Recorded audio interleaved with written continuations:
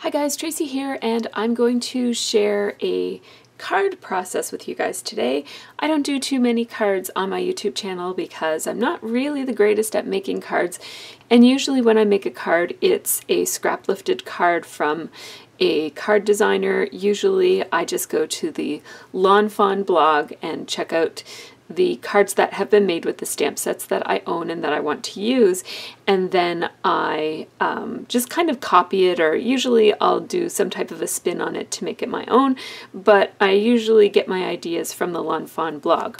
So I was on the Lawn Fawn blog the other day and I was looking for this card so I searched so a long time ago I had bought this stamp set and this is one of the few Lawn Fawn stamp sets that doesn't come with a, a a coordinating die. This is called Stay Tuned and uh, I love it for, I love the microphone and the radio, but I really, really love the TV. And um, I like the kind of retro look of it.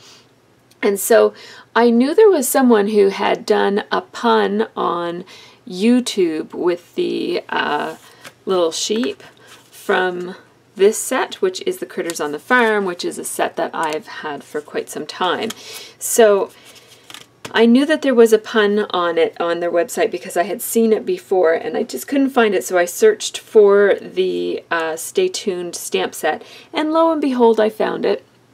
So this is the card that I was looking for and it was made by, I'll just shoot this picture up on the screen so that you can see it more closely. It says I love YouTube and of course U is E-W-E for the cute little sheep. Um, and it was made by Scrap Collector 57 and it was posted on the Lawn Fawn blog as one of the examples of a card that was made with the Critters on the Farm stamp set and the Stay Tuned stamp set. I thought it was pretty brilliant and I really wanted to make a card. As a YouTuber, um, I wanted a YouTube specific card that I could send to people um, as a little thank you for certain things that people do to support my channel. So I have some supplies out here that I plan to use for this card. And I have I have a sense of what I want to do.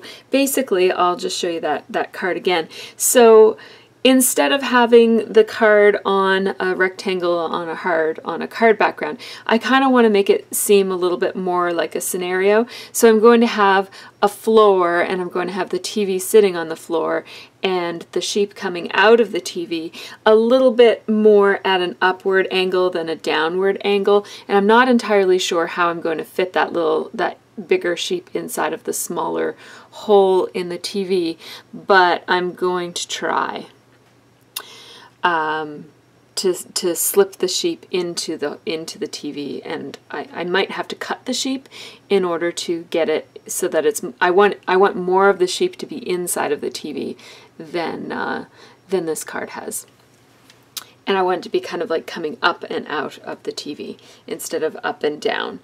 Uh, and I'm going to have a floor, and then I think uh, I think the background. I thought about making it look like a wallpapered wall in the background, but I think I'm just going to leave it very plain and simple so that my sentiment will stand out. And yeah, so that's what I'm going to do. And I'm also going to make it be a horizontal card instead of a vertical card. So I have my supplies out here. I'm going to be using my mini MISTI tool for some of the stamping and I also have a block for some of the stamping as well. And I have the Stay Tuned stamp set from Lawn Fawn and I have the Critters on the Farm stamp set from Lawn Fawn and I also have the Critters on the Farm dies which I'm going to use the sheep from obviously I'm going to be putting this whole card on a piece of watercolor paper.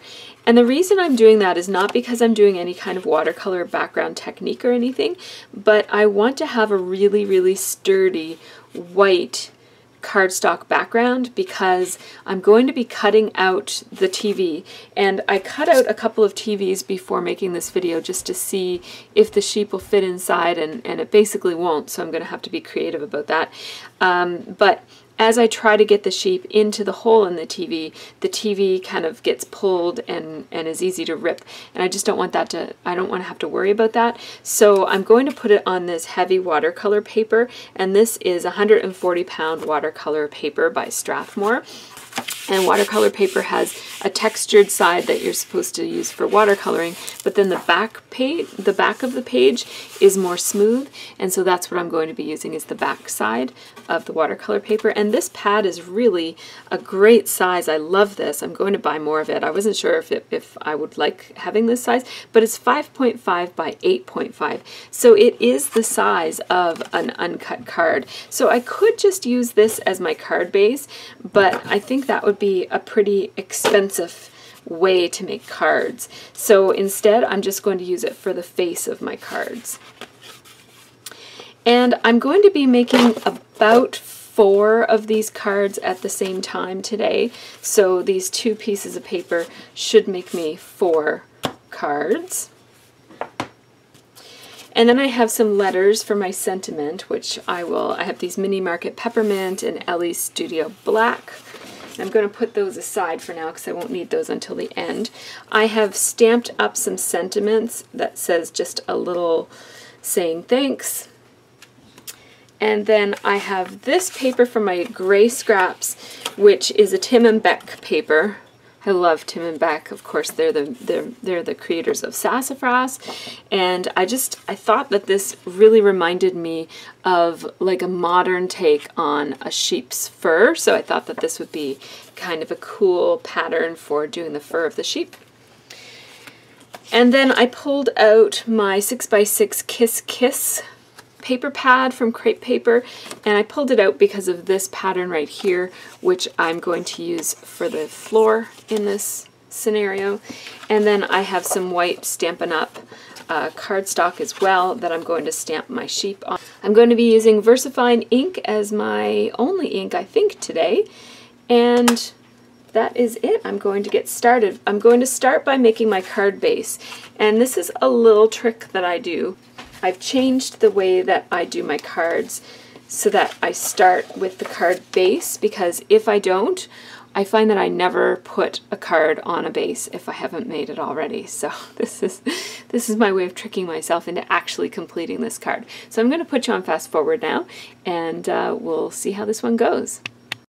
All right, so I'm starting with this package of 8.5 by 11 Brights cardstock and I just picked out two pieces of real red uh, cardstock from Stampin' Up. And I'm going to start by cutting these pieces in half so that they are eight, they so that they are um, eight and a half by 5.5.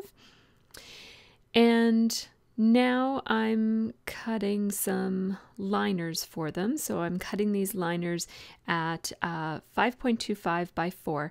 And even though I'm cutting four cards. I'm, I'm creating four cards. I actually need eight of those liners, and you'll see why towards the end.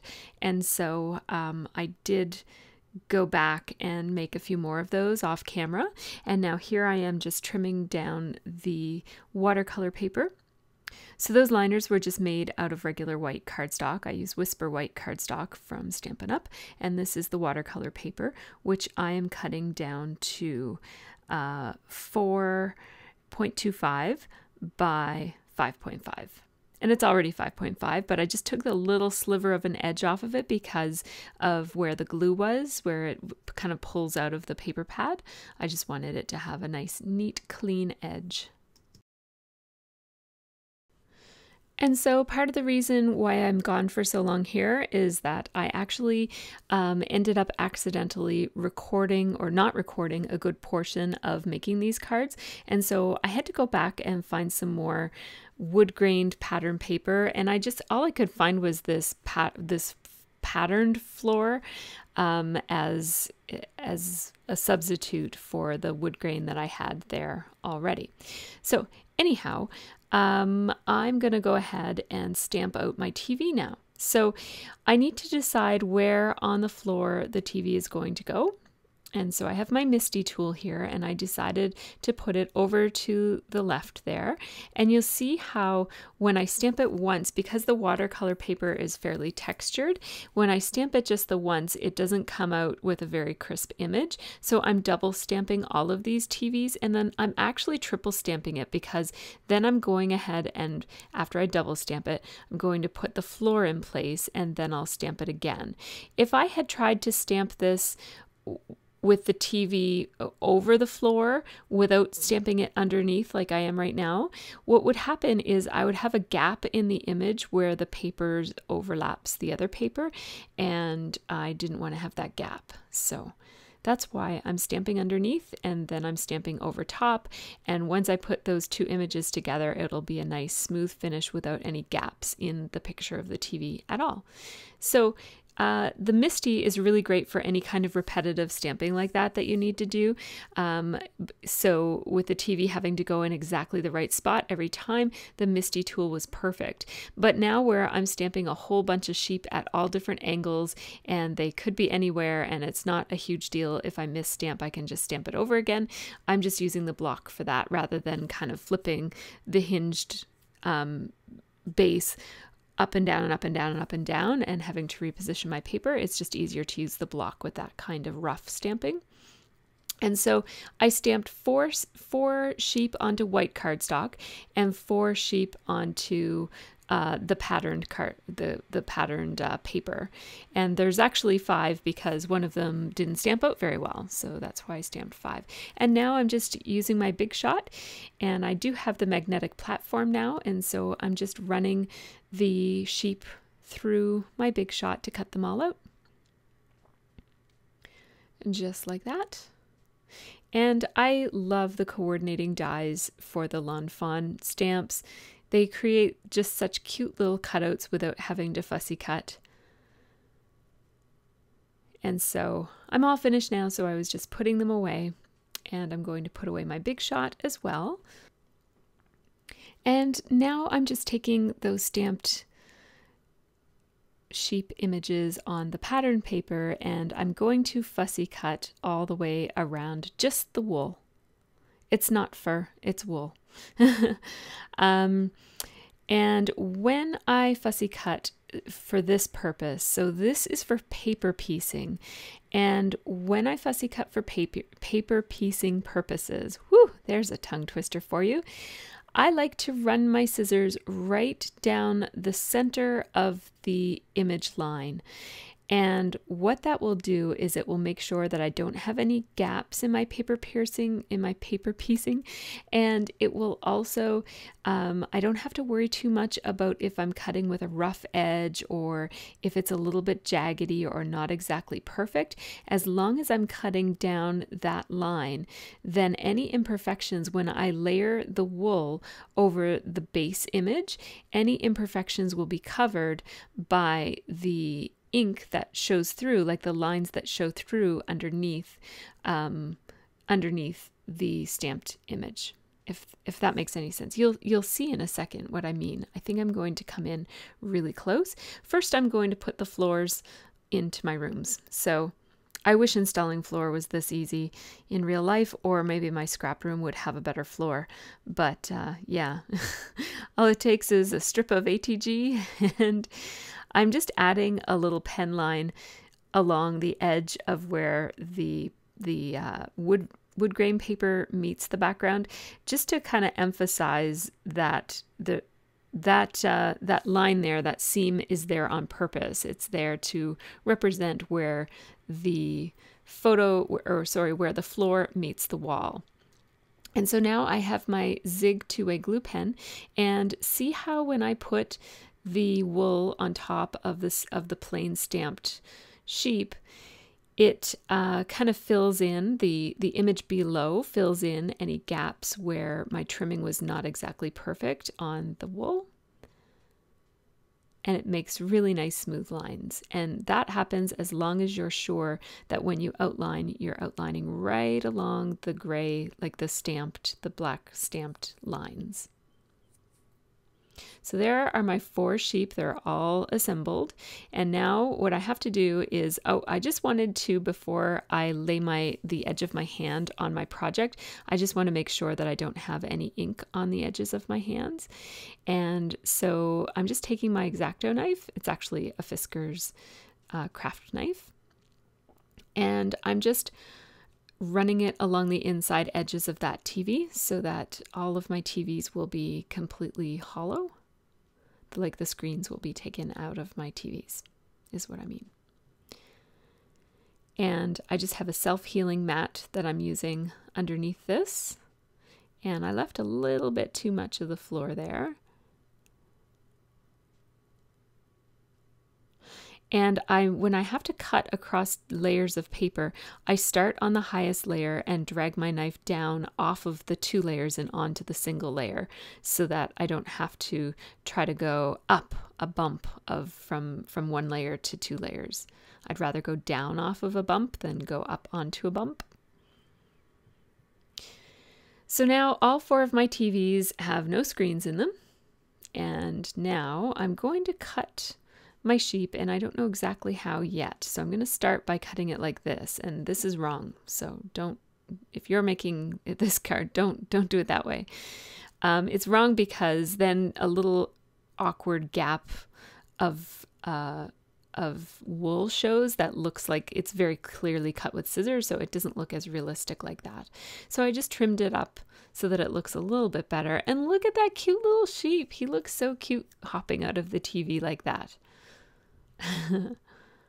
I love him. So then this is why I need two two liners for every card. And now that I know where to make my slit in my sheep, I can make it much faster. So now I'm just slapping a liner onto the back of it so that that sheep will stay in place. And I'm just making sure that I run a line of glue right over the sheep so that the sheep is stuck to the liner and it's not going to wiggle around uh, under that liner. So I'm going to do that with all four of the sheep. And I like to position it so that you can see the antenna on the TV so that the, the sheep's head isn't covering too much of the antenna. Oh, I think that looks so cute.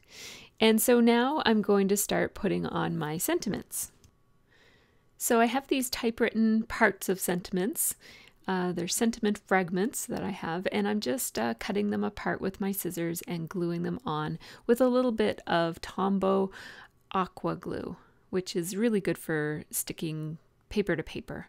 And now these are peppermint mini market stickers from October Afternoon, and I love the font of them, and I love that it has both lower and uppercase letters because it means that I can sort of replicate the YouTube logo because YouTube has a capital T and then lowercase u b e r and it's white on a on a red background. So that really replicates the the tube part of YouTube. And then the, for the U part of YouTube, I had to use a different font because I don't have one that's similar enough to the actual YouTube font, but I did replicate it in that it's black on white and I used a capital letter for the E and then I used small letters for the W and the other E. And so now I'm just cutting out some more of my little sentiment fragments so that I can put them on my card just on either side of the word YouTuber. And so I just, all that I have to do is make sure that I get the R straight, and then I can make sure that I'm just attaching each of the subsequent letters so that it's lined up with the R. So I just line up the R against the edge of the, not against, but I, I kind of eyeball it with the edge of the of the paper and then all the other letters end up being straight because of that. So now I'm just taking the other liner. So this is why I had eight of the liners because there has to be one behind the sheep and then another one here so that my card can have a place for me to put my sentiment. And so there we go. And I'm putting these cards on a red base and with the white insert on the inside, it makes them look very similar to the YouTube logo, which I really like. And now you see that white strip?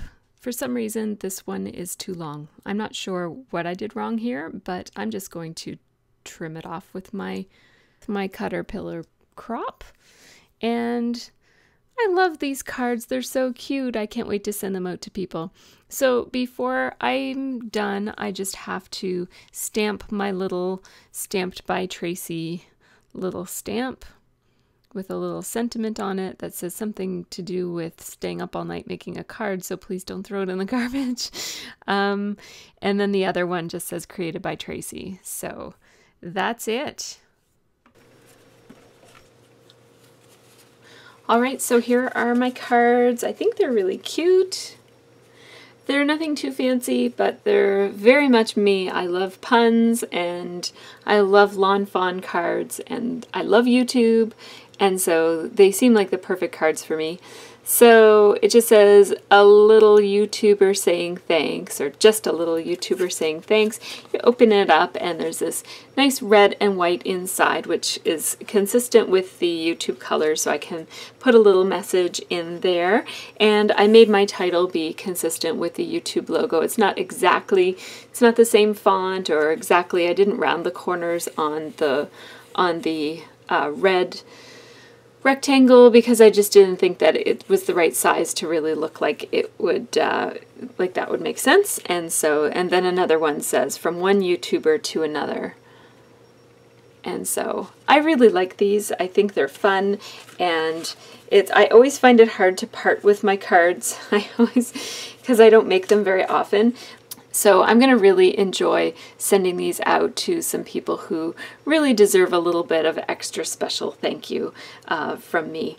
So thanks so much for checking out my card making process. And, and thanks so much to Scrap Collector 57 for the wonderful pun idea. And the image of the sheep coming out of the TV is just so cute. So thanks so much for the idea for the card, Scrap Collector 57 from the Lawn Fawn blog and uh, the the pun is just adorable and I couldn't resist using it so thanks so much Scrap Collector 57 for the idea. So thanks so much for watching and have a really great scrappy week.